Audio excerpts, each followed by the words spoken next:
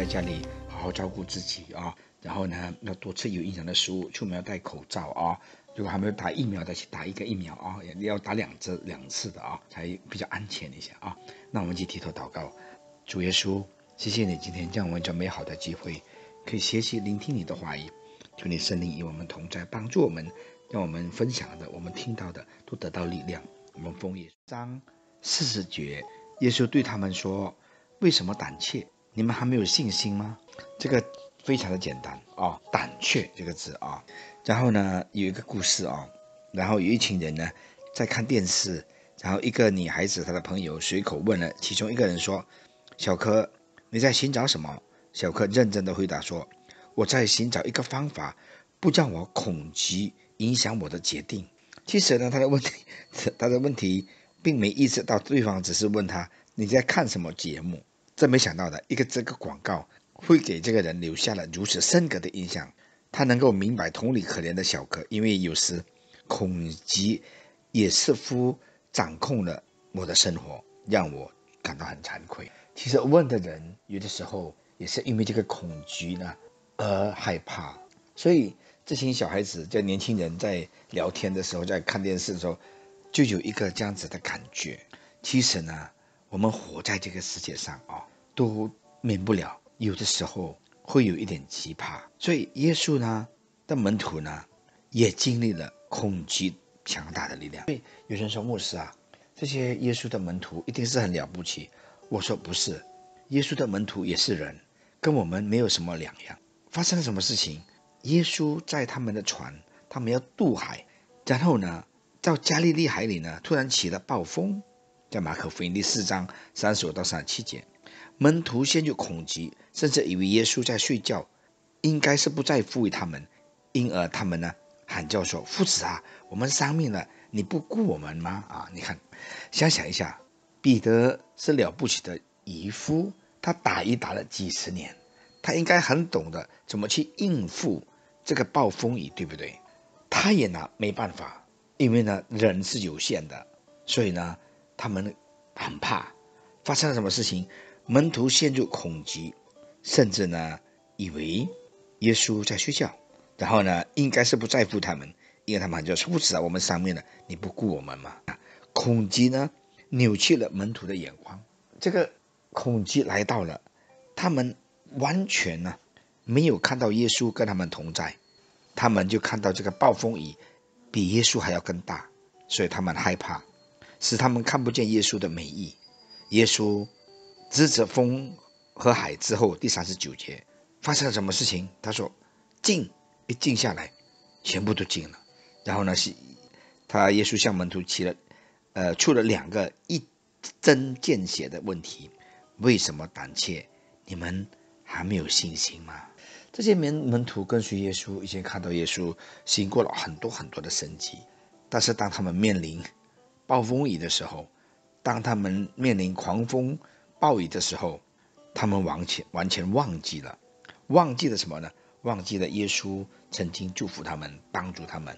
其实呢，暴风雨也在我们的生命生活中呢引进过来，对不对？我们每人生每一个人都会有碰见我们人生的暴风雨，但耶稣的问题可以帮助我们以正确的眼光看待内心的恐惧。所以呢，耶稣的话语能够帮助我们看在内心的恐惧。他的第一个问题要我们思考自己有那些恐惧，我们要思考我们的恐惧是什么。第二个问题是要我们将那些负面的感受交托给他。我们哪一个地方我们有恐惧，我们知道了就交给他。那求主赐我们属灵的眼光。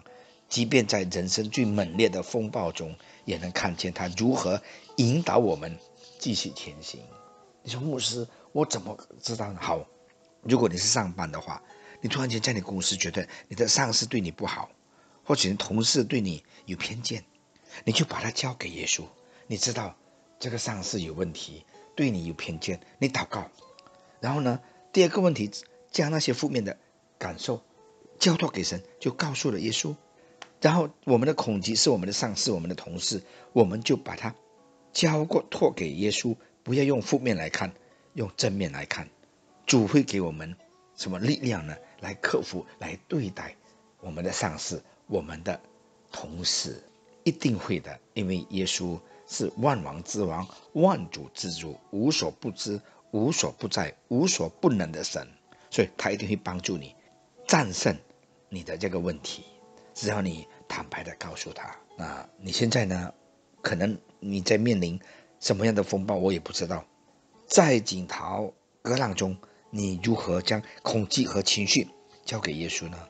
很简单，告诉他你的问题，告诉他你的忧虑，告诉他你的恐惧，告诉耶稣你的一切，他一定会帮助你的，铁定会帮助你。啊，好，我们就提出祷告，亲爱的阿爸父。慈爱的天父主耶稣，谢谢你在我们人生中的暴暴风雨中，仍然与我们同在。主啊，当我们面对暴风怒涛时呢，主帮助我们能天天向你倾诉，将恐惧卸给你，交托给你。谢谢你主耶稣，我们有你这么好的一个阿爸夫，这么好的一个朋友，这么好的神。谢谢你主，求你给我们力量，可以面对我们人生的问题。我们奉耶稣的名，把我们的工作、我们的学业、我们的事业、我们的企业，全部都仰望都交托在你手里。枫叶树的明显上，看。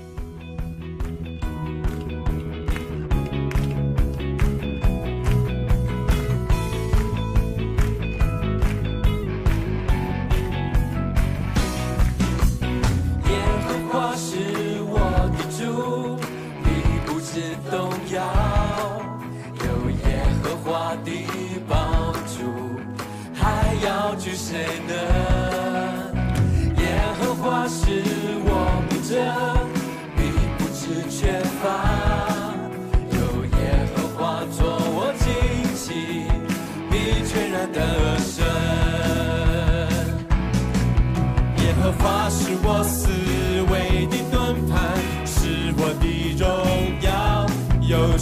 叫我抬起头的神。虽然有哭泣，早晨我们必欢呼。